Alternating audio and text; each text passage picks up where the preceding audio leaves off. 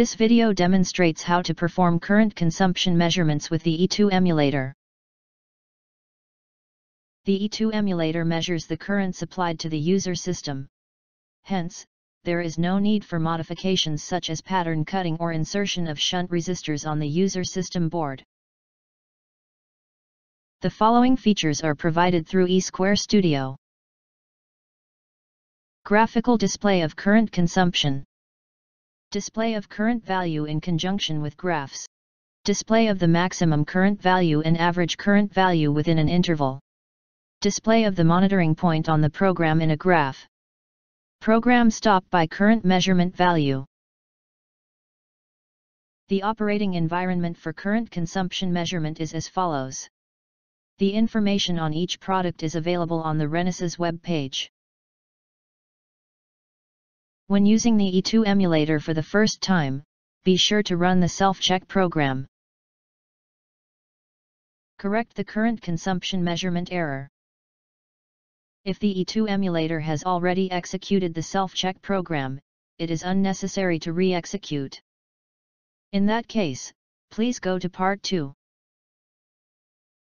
Set the switch of the 14-pin connector to the one side and connect the user interface cable to the E2 expansion interface.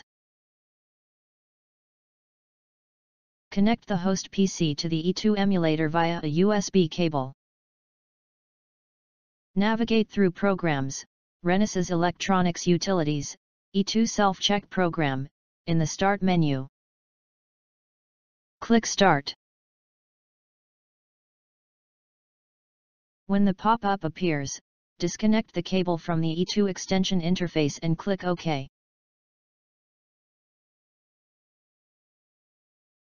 The pass message will pop up when the self-check of the E2 emulator and the correction of the error in the current consumption measurement are finished.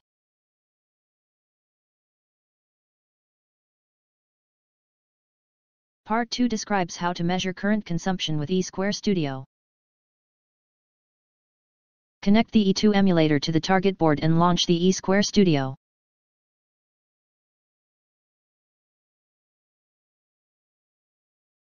Select the project workspace for the current consumption measurement and click Start. Open the project for current consumption measurement.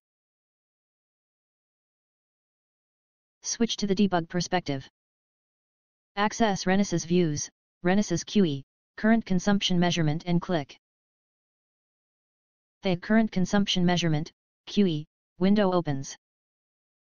Click the button in the upper right corner of this window to enable the current consumption measurement function. Initiate debugger configuration. Click on the triangle to the right of the debug icon. Select Debug Configuration from the pop-up menu. The Debug Configuration window will appear. Select the debug configuration file and configure the debugger settings. Click 1, 2, and 3 in the order shown in this video. Set the power supply to yes from the emulator in connection settings. Click 4 to connect eSquare Studio. You can operate current consumption measurements using the panel's top controls. Descriptions will appear when you hover your cursor over the buttons. First, perform the settings for current consumption measurement. In the Current Consumption Measurement Settings window, you can set the operation after the recording memory is used up, sampling rate, acquisition conditions, etc. If the acquisition condition is set to a value other than acquire all, the current consumption measurement data will be stored in the memory only when the condition is satisfied, thus allowing you to acquire data for a longer time. Start current consumption measurement by clicking 2. The program stops when stop program is selected in the operation after the recording memory is used up, which was set earlier. You can select detach to float the current consumption measurement, QE, view and move it freely by right-clicking on the tab. The floating current consumption measurement, QE, view is expandable you can adjust the displayed waveform of current consumption by scrolling the graph.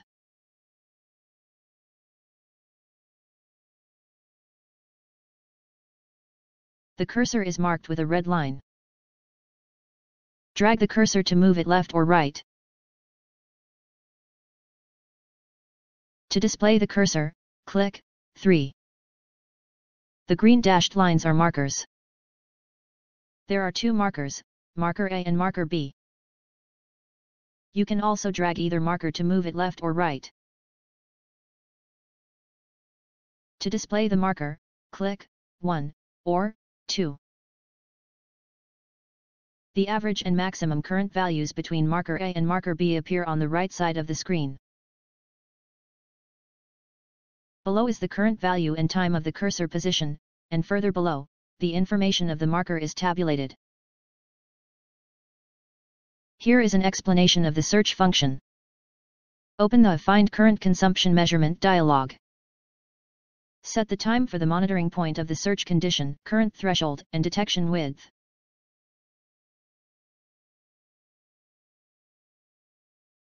Select threshold and two threshold lines will indicate the range.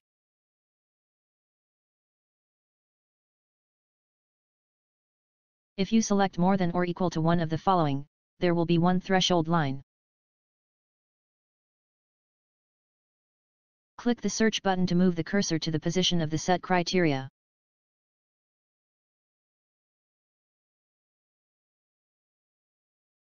Next, let's come to the monitoring points. Display the desired source in the editor window to set a monitoring point. Right-click on the address display position, and go to Renesas event point, switch passage point. Similarly, try adding a monitoring point.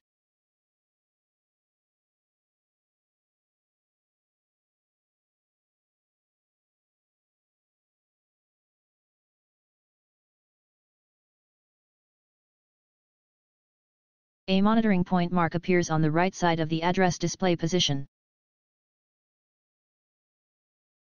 If the setting of the monitoring point is changed, click 1 for the current consumption measurement.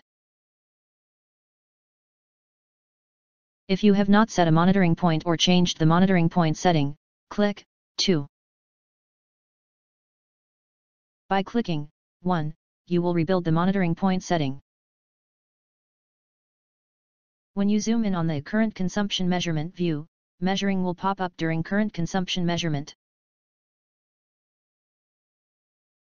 To zoom in on a waveform, press Ctrl and the plus key, and to zoom out, press Ctrl and the minus key simultaneously. For vertical reduction, press Ctrl and the down key, and for vertical expansion press Ctrl and the up key. For horizontal reduction, press Ctrl and the left key, and for vertical expansion press Ctrl and the right key. To display the list of monitoring points, click Display. The line color of the list of monitoring points corresponds to the color of the monitoring points in the graph. Use the checkboxes in the list of monitoring points to toggle the color of the monitoring points in the graph. You can search for the monitoring points in the graph. Open the search dialog and select a monitoring point. Click Search. The cursor moves to the location of the monitoring point. You can also set trigger conditions. The trigger condition allows the user to set the action to be taken when the condition is detected. You can enable output external trigger signal to output the signal from the E2 emulator's expansion interface. Choosing Stop Program stops the program when the condition is satisfied and the current consumption measurement is completed. If the trigger condition is changed, click 2 the current consumption measurement starts without rebuilding.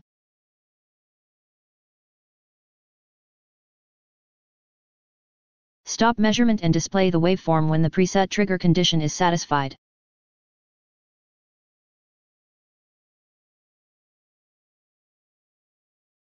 The following explains the buttons located in the current consumption measurement window.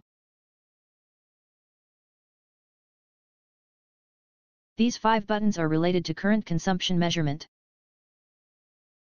You can use them to start and stop the measurement and to set the conditions for the measurement. These buttons are related to the cursor and marker. Other buttons are located here.